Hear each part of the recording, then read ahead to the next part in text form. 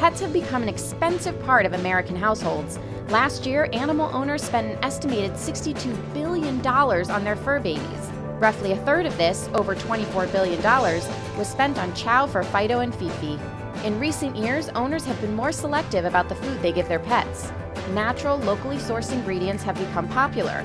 Dogs, on average, will eat $269 worth of food per year, while cats will cost $246 and birds just $120. Veterinary care makes up the second highest source of spending. Nearly $16 billion was spent on vet bills in 2016. Being mindful of your pet's health and well being is key in the longevity of the animal. Basic office appointments cost between 45 and $55 per annual visit.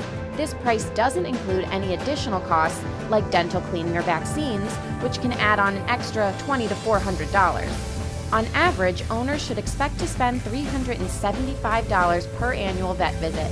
Approximately $15 billion is spent on supplies and over the counter medicines for our four legged friends. Supplies include litter, food bowls, and other accessories needed for your animal's daily life.